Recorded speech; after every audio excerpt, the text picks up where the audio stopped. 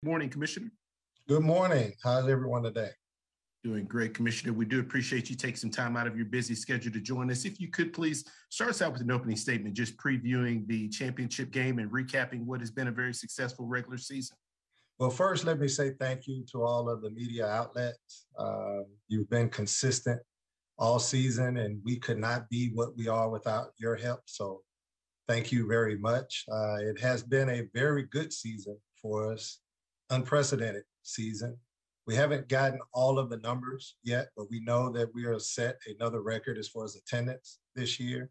Uh, with the addition of HBCU Go, uh, we've set a record of the number of games that have been te- televised nationally, uh, live. Uh, our footprint has expanded, our fan base has expanded, and it's been a very good year. Um, from a competitive standpoint, obviously Jackson State completed their first undefeated season, but back to you know old SWAC ways. You, you dial back to last Saturday. Uh, three teams were in the championship uh, last Saturday, all the way up until they were not, and then Southern University had the opportunity uh, this weekend with their win over Grambling. So that's the level of competitiveness that we wanted. It brings that level of excitement it brings the fan excitement, and we're just very, very pleased to be in the position that we're in to come into this Saturday, uh, 3 p.m. in Jackson, Mississippi, Jackson State versus Southern University, ESPN2, with uh, a very lot of eyeballs watching the Southwestern Athletic Conference. Those opening comments, Commissioner McClelland. First question goes to James Hill.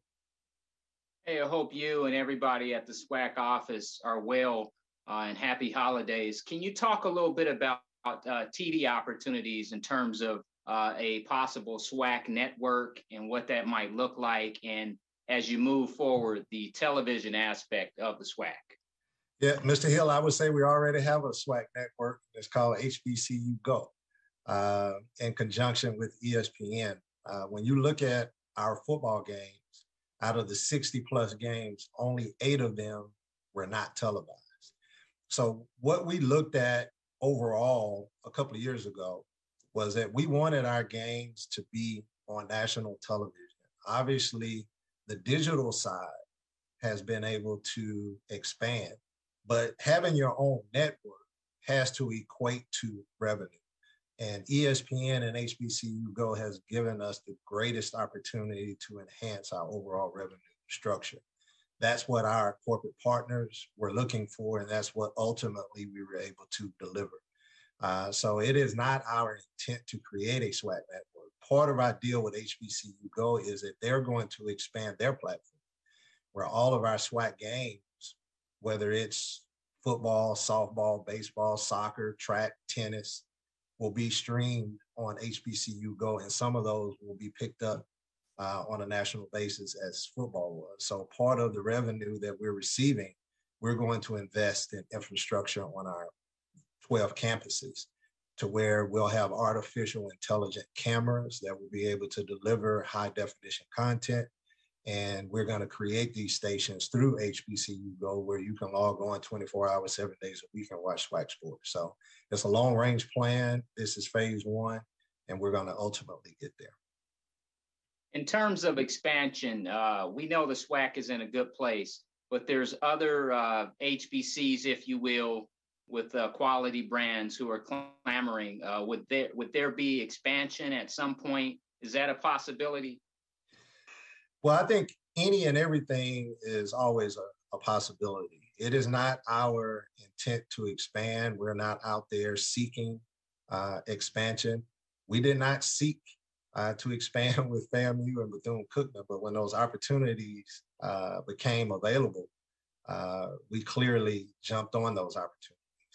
I can tell you we're not going to expand for the sake of expanding. If you go back and look at what I've said ever since I've been uh, in this chair, it has been that statement. We're not going to expand just for the sake of expanding. And if we do expand, it's going to be more about what those institutions can bring to the Southwestern Athletic Conference how are they going to allow us to grow? How will they allow us to be able to generate the additional revenue? Uh, some of the things that you would probably look at from an expansion standpoint you know, are those key elements. You know, they're gonna have to match our institutions. You know, from an academic standpoint, from a competitive standpoint, from a geographical standpoint, and also we're gonna be looking, you know, for if an institution is able to come in, how many fan support, you know, media market. So what those other power conferences are looking for, this power conference will be looking for the same. So if somebody fits that bill and it's going to be beneficial to the SWAC, we will definitely take a look at it. But we're not out there seeking expansion at this point. Thank you, sir. Have a blessed week. Thank you. Next question goes to Kendrick Marshall. Yeah, Commissioner. Um, FAMU was recently left out of the FCS playoffs. They thought they had a team that could make it um, this year. And part of the reasoning for that was their non-conference scheduling. Is there a way the SWAC can help supplement a team schedule to put them in a better position to possibly make the playoffs if they don't win the conference? When you say supplement, please expound on that question. Yeah, there's obviously a, a, a mandate number of games that have to be played by teams in conference. Is, is there a way the SWAC can possibly, I, I guess, make it a way where schools can have more opportunities to play non-conference games in, in, instead of having to only rely on those mandated conference games throughout the season? Well, the eight game conference schedule was voted upon by the athletic director. So the institutions uh, will determine whether we play eight games, seven games, six games, no games. That's not a conference office decision. That's an institutional decision. But uh, we have a strong, legitimate Division One conference, and our games are strong enough in order for you to get into the FCS playoffs, as evident uh, last year from Florida A&M. Uh, there are a lot of politics, as we know. Uh, there are a lot of deserving teams, uh, as you know, when it comes to the FCS playoffs. We've always encouraged our teams, not just in the sport of football, but in the sport of basketball, to play a legitimate Division One conference schedule. Uh, you're starting, and I don't want to deviate from FAMU, but you're starting to see it in basketball. We did not mandate uh, the schedule. The Pac-12 agreement of bringing in those schools are going to do nothing but help our net rankings. Going out on the road and playing mid-major schools that we can get some victories, and you've seen that in basketball versus playing the number one, two, three, four, five, six team in the nation where you know you're not going to win. And we've talked about the same thing in football. We understand if you want to go get a game guarantee that you're probably going to try to come back and uh, get a game guarantee on your own. Uh, going back to the television conversation, the more revenue that we bring in in the Southwestern Athletic Conference, the more revenue we distribute to our member institutions, and it'll alleviate that need to go and have to get those game guarantees, which will give them the opportunity to play some of those teams that are at the FCS level that you know that you can compete with, win those games, and get the requisite amount of points in order to get into the FCS playoffs. So, in my opinion, it's not the reduction of the SWAC games; it's equalizing that non-conference schedule, those three games that you have, playing the right schools uh, to be able to get in. Uh, if Jackson State somehow Kendrick did not make it to the championship game, they would have been a lock into the SWAC championship, uh, excuse me, the FCS playoffs. And that was because of the way that they schedule. So it can be done. We've proven last year that it can be done. But institutions have to schedule based upon their needs, and the conference office will not interfere with that. As a quick follow up to that, um, how much does it hurt, or if at all, that the SWAC does have a representative in in the room when the selections are made for the playoff? Uh, you know, I sit in the room uh, at the highest level, uh, the Division One Men's Basketball Committee, and each and every time there's conversations about the Southwestern Athletic Conference, I'm asked to lead. Uh, and I think the procedure is the same for the FCS uh, selection. So being in the room doesn't necessarily give you a leg up. Uh, it's, you know, the resume and the things that you do outside of. So not being in the room, in my opinion, doesn't uh, put us at a disadvantage at all. Uh, thank you. Next question, Doc. Next question goes to Dr. Cuville. Good morning, Dr. McCullough. Good morning. Good afternoon now. Depends on Thank where you. are, Doc. Ah, great point. Great point. Morning somewhere. I appreciate you saving me on that. With that being said, you said attendance is up. uh, Broadcast Association uh, in terms of visibility is up, revenues up. You you said you revenue. Talk a little bit about. well, I thought you said in that last answer you spoke uh, about revenue being Re- revenue is up. I so guess I I'm, just, I'm, I'm gonna let you I Yeah. answer. you. I'm sorry, Doctor. I didn't mean to interrupt. Go ahead. you kind of let that slip out. I just carried. I just listened to it. But I get you. I get you. We can't spoil everybody with the numbers. Uh, maybe I can figure that out some other way. But we that being said, can you talk about? Is it too early to say what's next? Um, what what is the next thing that the SWAC under your leadership needs to get done? Well, let's go back to the revenue question. Revenue is up. Revenue is up significantly. Uh, I've said this before, and I say it now. We are not the small black college poor conference anymore. We are a legitimate force. Our revenue numbers are uh, tracking extremely strong. Uh, I have not seen the other FCS conferences revenue this year, but based upon last year's numbers, uh, we will rank first of all of FCS. Given where we are with our television contracts in five years, we will actually surpass two FBS conferences. Again, they might have the ability to up their numbers. Uh, we are going to enter, uh, we have three more years left on our ESPN contract where we're start to enter negotiations with ESPN. So we think that we are in a very positive position uh, to elevate this conference to be able to do some things that people have never been able uh, to see. We distributed uh, over $9 million last year. We got the final numbers in. That does not include uh, allowing Jackson State to keep all of the revenue uh, from the championship game. When you look at distribution to our membership, we have distributed more than all FCS conferences. So uh, James asked that question before, and I've had to say this publicly. People talk about uh, people coming in, but what about schools leaving? Uh, we can honestly say, if there is a institution that want to leave the SWAC, they would have to go Power Five because there's no other conference that they can get as much revenue distribution from the SWAC. That's how strong we are, and our revenue projections are trending, you know, upward. Uh, so when you start talking about what's next, it is to continue to deliver to our fans a quality product. Uh, it is to continue to deliver the revenue that our member institutions need so they can do things such as not having to play all of these types of game guarantees, being able to travel uh, in, a, in a first class manner. That's what conference offices are for. And I am proud to say that in four years, we've been able to elevate our revenue structure to where we're now distributing legitimate, serious money back to our schools to where they can do some of those things. Follow-up question uh, in that regard is obviously we've seen what took place the basketball with the SWAC in the Pac-12 C series. Uh, women's side basketball continues to tick up, and so I know this is about football, uh, but that has been positive both men's and women's, and baseball seems to be ascending as well.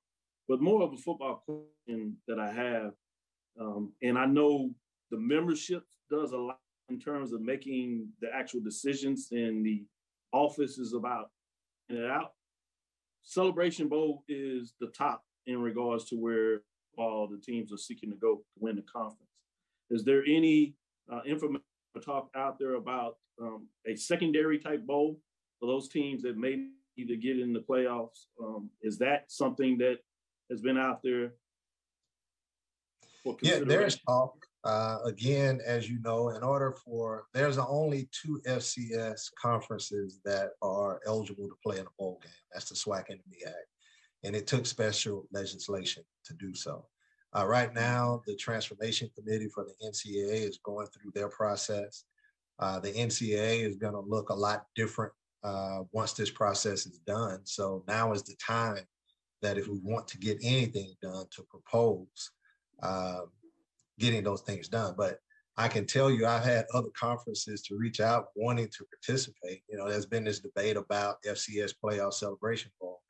I can tell you there are many conferences that are saying behind the scenes that they would much rather play in some type of bowl game against the Southwestern Athletic Conference. That the revenue is there and the opportunity to win a national championship is very enticing uh, for those types of institutions. And at the end of the day, it's coming down to. So when you talk about Florida A&M, you talked about, you know, what that entails.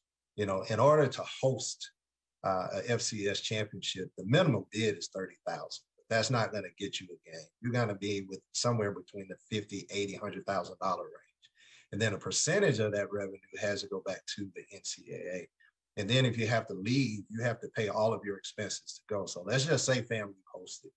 You know, they were going to be out of fifty to eighty thousand dollars to host, whatever it costs for them to go play that following week. So let's say they made it to the national championship game, it could have cost them upwards of two hundred and fifty, three hundred thousand dollars. Uh, again, it's important to be able to play for a national championship. I'm not taking that away, but we have made the decision that the Celebration Bowl is the route that we want to go. We want to be like the SEC and the Big Ten uh, and the Pac 12. We want to be able to compete in a bowl game and compete at the highest level. So, getting multiple bowl games is definitely our priority. Um, and I don't know, I can't say it's not imminent. It's not tomorrow. It's not next week. It's going to take some time. But in this new structure of the NCAA, I can tell you 100% we are in the middle of it. We have a voice and we will continue to exert our voice to be able to move our uh, agenda forward and try to get some of the things that we would like to have. Thank you, Commissioner. Thank you. Question goes to Jeff Lightsey Jr. Commissioner McClelland, I must ask you, you talked about your four years uh, as the commissioner of the SWAC. Would you say this has been the most successful season for you as a commissioner, just football season? I know you have a, a rest of the athletic calendar, but what has that success been like for you this season and how has it felt? Well, I think our success has built. You know, we had a very successful first year, second year, third year. This is the uh, beginning of the fifth year. You know, last year we said it was the most successful that we've seen, and this year numbers have kind of blown out of the water. But uh, our success really is predicated on the fact that we have 12 institutions that are on the same page the athletic directors, the presidents, the chancellors, SWAs, coaches. And, you know, we get in the back room, we fuss and fight, but when we come out, we're on one accord. And that has been the precipice of our success. That has been the spear that has allowed us to achieve those types of things. And when you start seeing like your basketball teams on their own, scheduling, you know, mid majors and, you know, doing the types of things that's going to push the entire needle forward. I think if I had to point to one success that I am most proud of from a competitive standpoint, it would it would be that. SWAC has always been competitive on the field and on the court. We've always had a large fan uh, base and fan participation but to get all 12 schools on the same page with one accord. And I think we can all see the light uh, or the prize at the end, you know, of this journey. Uh, there's a lot of work that needs to continue to be done. We're going to work hard to get that done, but we are in a very good spot. It does feel good for not only the nation, but the world uh, to know who the Southwestern Athletic Conference is and for people to look upon the Southwestern Athletic Conference with pride with dignity versus disdain. Yes, sir. And just a quick follow up uh, is talking about growing and expanding. I remember there was reports about the a SWAC Classic football game. Uh, can you fill us in on any of other details or anything moving forward going into the 2023 season? Yeah, the SWAC Classic this year was the Southern FAMU game. We will have one next year, but I think ultimately what you're referencing is our the SWAC Classic that we talked about in Birmingham Alabama. And when that came out, what that report was that the city council uh, approved funding for us to have that game. We have yet to sign that contract. And the schools that were listed were projected schools. They were probable schools. So there, there have not been contracts that have been signed. What that was was us going to the city saying the SWAC has the ability to be able to bring some of its teams, those teams coming to Birmingham is strictly voluntary. And that's something else that I would uh, like to say. The SWAC can't force a team to do anything uh, from a non-conference standpoint. even from a conference standpoint, our responsibility is to schedule the games. The schools can rearrange those games, they can move those games. They can't cancel conference games. So the SWAC Classic is just us saying, we have sponsors that want to attach dollars. Why not give those resources directly to the schools? Why don't we create an opportunity for schools to be able to make all of the revenue and not having to share it? But it is 100% the school's uh, choice to participate. And as soon as we have those schools solidified, we will, you know, make that path forward. I have to say again, hats off to Mayor Randall Woodfin here in Birmingham of being able to get that through the city council, getting a stadium to where we can keep 100% of the revenue and distribute it back to the school. So uh, we will have a SWAC Classic. The year before that, uh, it was on the campus of Jackson. Last year, was on the campus of FAMU, and we will keep that going because we think that it is extremely beneficial to our schools from a revenue standpoint. Thank you, sir. No problem. Two, we'll try to get two more questions in quickly first. Andrew, I, if they're good, I'm good. I, okay. I, don't get a chance to talk. I saw Bradley how disappointed okay. he was when you didn't choose him for Coach Prime. So we're okay. going to get to you. Okay, I appreciate you, your patience. So I'm good. Thank you so much, Commissioner. Uh, next question goes to Bradley Davis. See, Bradley, I called your name. Yeah, I, pre- I appreciate that, Commissioner. No problem. Looking out for me. Um, so, well, first, just how are you doing today, Commissioner? Doing well. How are you doing today? I'm doing good. Thanks for asking. Enjoying the sunlight before uh, before it goes away here in about 12 or uh, 18 hours. But uh, my question is, uh, you know, you talked about all the success with the numbers and everything. What's been something you didn't really expect that's been kind of a pleasant surprise that you didn't expect or, or really see coming uh, this year? That's uh, that's been pretty cool. You know, that's a that's a good question, uh, Bradley. Um, you know, in this business, you always have to expect the unexpected. So I'm not quite sure if there was anything that out there that was unexpected. But I can tell you a pleasant surprise has just been the uh, shattering of attendance numbers. And it's not just been Jackson State. And it hasn't just been the games that Jackson State has played in. When you look across the board, at our institutions. They're selling out or near sellouts. And that's something that we really wanted to bring. We talk about what we do from a conference office from a revenue standpoint, but there's a whole different ledger of revenue that can be generated by the additional support on those campuses.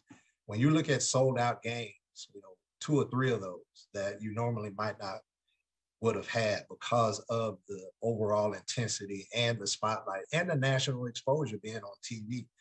Uh, that has been an extreme pleasant surprise. And I can tell you uh, the way that the HBCU Go syndication has worked, again, has been a pleasant surprise. We're in 80 markets from Hawaii all the way to Maine, uh, 80% of the African American households. So if you want to see SWAC football, you can cut on your televisions and watch SWAC football, regardless of where you are. And that is a, a level of exposure that we have never had. And we're going to continue to build upon and grow. And I think it was important for us to have it because it legitimizes us as a quality top conference. And from a corporate partner standpoint, they want that visibility as well. So those two things, in my opinion, has been one of the brightest uh, surprises that I've been able to uh, celebrate over the last four months. Yeah, that's sweet. And just super quick follow up. Uh, what's been the kind of the best SWAC game that you've gotten to catch this year? You know, one that really stuck out just watching on TV or in person? You know, I don't know if I can say a SWAC game. I can say uh, as I was at the volleyball championship uh, last weekend, because I didn't go to any games last weekend because I've been on the road each and every week.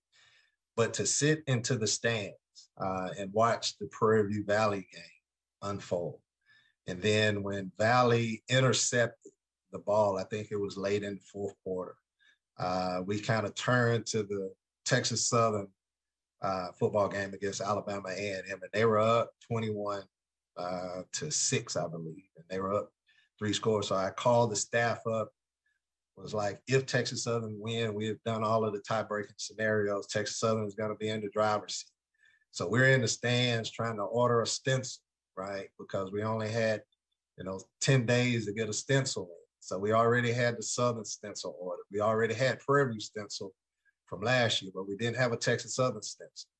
Uh, so it took us about 15, 20 minutes to get the stencil ordered. And then here comes Alabama A&M.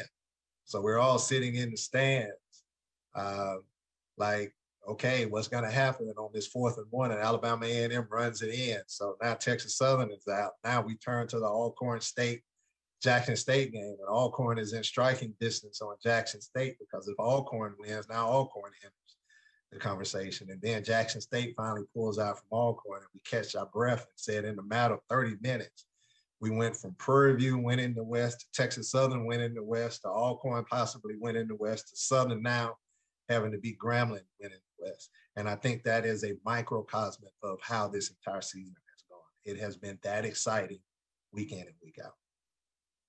Got it. Thank you, Commissioner. No problem. Next question goes to Maurice Scott. Uh, good afternoon, Commissioner. Uh, thanks for taking my question. A uh, couple of questions I had real quick. Um, by the way, I'm here at school and uh, uh, I work in the media, so I'm doing some double stuff here. Um, we used to have a classic here called the Gateway uh, Classic. Uh, Earl Wilson, the late Earl Wilson, used to put it together and feature Arkansas Pine Bluff and uh, among other teams annually. With St. Louis being in a prime location in Midwest, is there any thoughts of bringing that classic back here and bringing some SWAC teams here with the rich football tradition that we have here in the St. Louis area? Um, right now, I'm sitting in the high school, uh, home Jackie Joyner Kersee, Kellen Winslow, Brian Cox, among others, and one of the all-time winningest football programs in the country in the East St. Louis Flyers. Can you comment on maybe bringing a, a a game back to the Midwest with our hospitality and also with the hotels and it being a central figure in the United States? Yes, we're open to bringing our brand of football uh, wherever uh, they want us.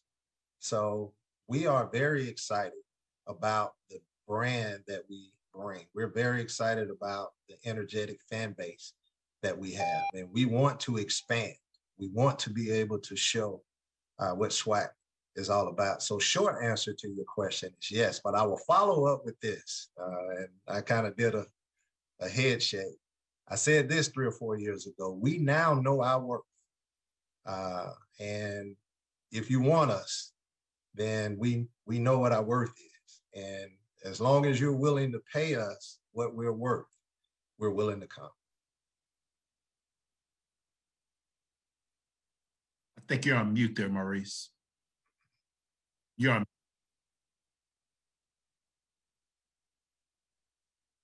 Maurice, you're on mute, sir. I made I stunned him, didn't it, Maurice? Couldn't, no, no, no. I, I, I, apologize. Thank you, uh, uh, moderator. Now, Commissioner, I was saying I agree with you wholeheartedly. Um, I will make make sure that I get that information out because it is vital for the communities to work with the SWAC and the participating teams and people like yourself to bring that brand uh, to the Midwest. And oftentimes, uh, people don't value the value of the SWAC. So I hear you loud and clear. There have been some problems here in St. Louis, but the leadership is changing. And uh, me being the position I am, I hear you loud and clear, and I'll get that to the appropriate people. Sure, Maurice, and I wasn't necessarily speaking in terms of you know the individuals there. I was speaking more so overall that the value of our brand has increased significantly. And we are open for business. We just want businesses to understand our value and that we will not do business for less than what our value dictates it to be. Thank you for your time. No problem. Next question goes to Mia Berry. Hi, Commissioner McClelland. I hope you had a wonderful holiday. My question for you is over the last few years, you've seen conferences kind of change their football alignment. So a lot of them are moving away from the division model and just taking the top two teams overall. I wanted to know has the SWAC considered this model, uh, you know, in meetings, and also from uh, what's your opinion on what's better, the division model or just taking the top two teams overall? Well, uh, there has been some conversations uh, because we have an eight game schedule and 12 teams, it will be impossible for all teams to play each other. So if you're talking about top two teams, uh, there again would be some level of tie breaking scenario. Um, so it won't necessarily just be record.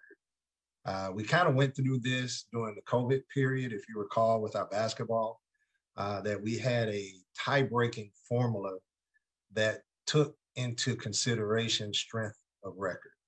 Um, so our divisions kind of make that process one more exciting, in my opinion, and two, it makes it more fair. Um, oftentimes, you can debate, what teams are better than others, uh, but in the divisional structure, everybody on that side plays everyone, and obviously they'll cross over for three games, and you get more of a fair representation. You know, I know that the Big Ten, you know, face the same issue. The SEC faces the same issue with the number of teams that they're looking to move, and we will continue to look. Uh, as commissioner, I will reiterate our job is to carry forward what our membership our membership wants a division, we will put that together. If they want non-divisions and the top two teams, we will put that together as well. What I think about it really doesn't matter. Uh, I think that's a question that's probably more focused towards the athletic directors because what they want will carry the day in that conversation. Thank you, Commissioner. That's all I had. Have a blessed rest of today. No problem. Thank you. Last question goes to Stephen Gaither.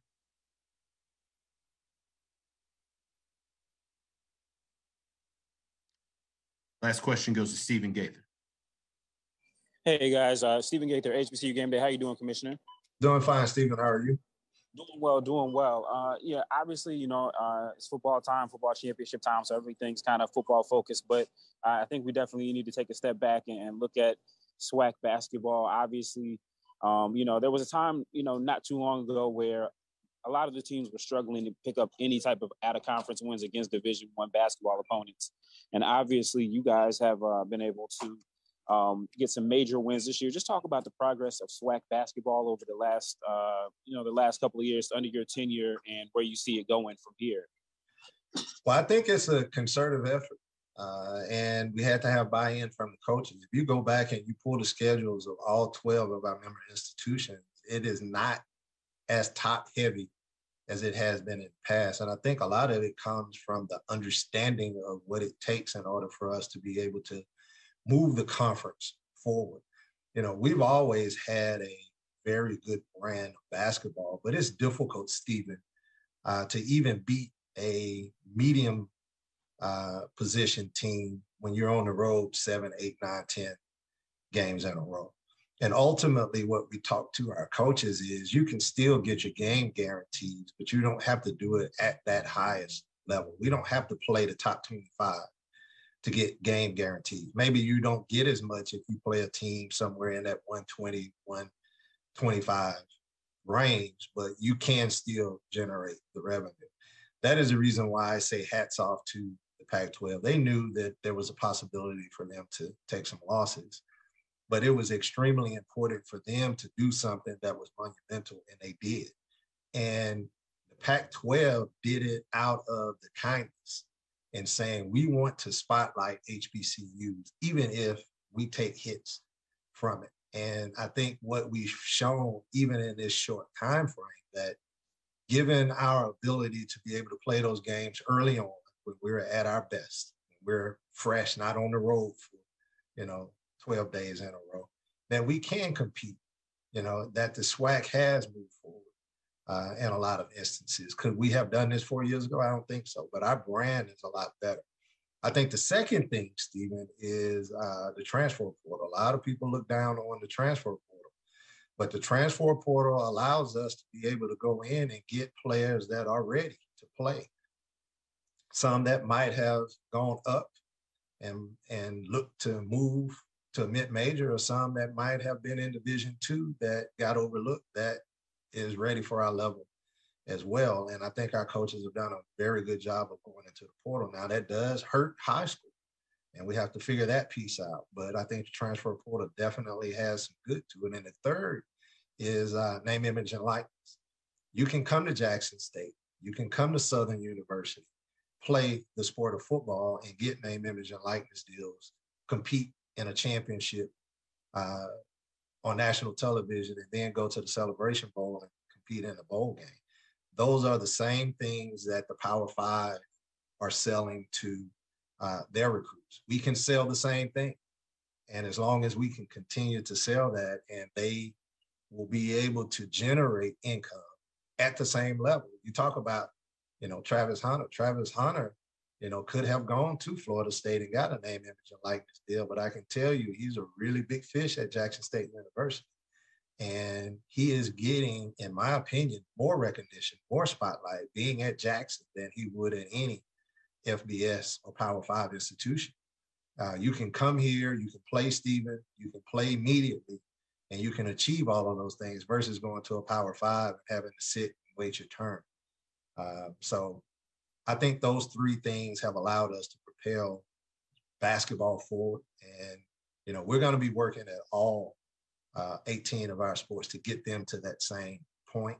Uh, but I am very pleased about our basketball upward trajectory. I think, again, more work to be done, but I think people can now start to see that there has at least been some work going on, and we're starting to see dividends from that work. And lastly, um, you know, I know you are the head of the Division One basketball tournament committee. Uh, so I don't know how much you could talk about this, but you know, the non-conference wins you guys have gotten. Um, you look at a team like Texas Southern, who um, you know, plays those historically plays those games on the road, never sees home court until January. Uh, you know, they were able to play Arizona State at home and get a win. Uh, they've had some other close calls. Um, you know, depending on who your champion is, uh, how are you feeling with these wins may help you guys' chances of not having to play in that first four game, even though there are some benefits to it financially. Yeah, I appreciate that. And I do want to give credit where credit is due. I'm vice chair, Chris Reynolds, uh, which is the athletic director at Bradley, is chair of the basketball committee this year. So I'm shadowing Chris and trying to learn all that I can, Stephen, in order for me not to embarrass myself this time next year when it is uh, my turn. But when you start talking about where you are at the end of the season, you really have to rewind to the beginning of the season. And when I became uh, a member of the basketball community, I was not well versed in net. It was the first year, and I spent a lot of time talking to uh, the individuals that put together the net. And it's a statistical base format, whatever you, you call it. And they put this information out. But we can break it down quite simply to, you know, who you play, where you played them, and how you perform, right? So the who you play doesn't really matter when you start off at zero. It matters after game one, game two, game three, game four. Uh, where you play them matters some uh, early on. It matters more at the end because we start talking about quad one. If you're at home, quad one is one through 30 if you're on the road, it goes up, you know, some more. So quad one, quad two, quad three, quad four wins. I say all of that to say everybody starts off at zero, Stephen. And ultimately, what increases your net is efficiency, offensive efficiency and defensive efficiency. So, offensive efficiency means that, you know, how many points did you score and how many times did you shoot to get, you know, those points? So, if I was 31 for 41. Obviously, that's shooting at uh, 80% clip. I know Dr. Cavell is, is a statistics major. Correct my math on that if I'm wrong. Nobody shoots 80%, Stephen, in a game. But if I shot 80% and I held my opponent to shooting 20%, then regardless if my name is Texas Southern or Duke, I'm gonna be at the top of the net when the net comes out, right? Because of those efficiencies, and I won that game. So what has hurt the SWAC is we've been on the road. We we get beat by 20 and 30 points. We have poor offensive and defensive efficiency because we're on the road, we playing these teams. And then when it's time for us to start to get, you know, to the meat of our schedule, we're so down in the net because we have such bad efficiencies, it's hard to elevate ourselves. The importance of what's going on this year is that we're having some home games. we're winning some of those games on the road. The net is not going to come out. I think it comes out either this week or next week. You're going to see that we're going to have more teams outside of that 300 range, When net generally comes out, we're in, 298, 300, 310, 311, 312, because we're on the road. We've got to beat our efficiency. Keep in mind, everybody starts at zero. I expect our net to be higher as a whole because of the wins that we've received and even the more competitive games that we played on the road, even some of those losses. Because if you have a higher net and you play a higher net on the road and you lose by very few points, you maintain that consistency. You don't drop. In some instances, you can elevate yourself if there's some teams above you falls below you. And I know I'm getting very technical here. Uh, the long story of this is we should fare a lot better in the net rankings. And the better you fare early on, the better your chances are at the end to get out of those uh, 16 uh, seeds. Now, this is just Charles McClelland's opinion. Again, like I told you earlier, I cannot vote for any uh, SWAC team whatsoever. So where SWAC falls, I have nothing uh, to say about it. But personally, uh, playing in the first four, being on national television, winning that game, getting an extra unit is way more beneficial for the individual team and the conference than to get a 16 seed and go straight and play the number one seed uh, and have less than, well, I don't think there's ever been a 16 seed that have been be the one seed. Uh, to have a 0% chance of winning that game, right? It will be only beneficial for us if we can get a 14th seed or a 13th seed. Even a 15th seed, you're ultimately playing those teams that should have been a number one seed but fail at some point, right? And I think there might have been two or three two seeds to beat a 15th seed. Uh, excuse me, a 15th seed to beat a two seed. So again, that 15th seed, 16th seed, that's a that's a hard out seed. What we have to work towards is getting a 14th seed, a 13th seed, and a 12th seed. And that goes back to our schedule at the beginning of the season. So I know that was a long answer, uh, but you asked. I definitely did appreciate it, Dr. McClelland. No problem. Commissioner, we sincerely appreciate your time and look forward to seeing you at the SWAC championship game this weekend. No problem. Thank you. Thanks everyone for being here.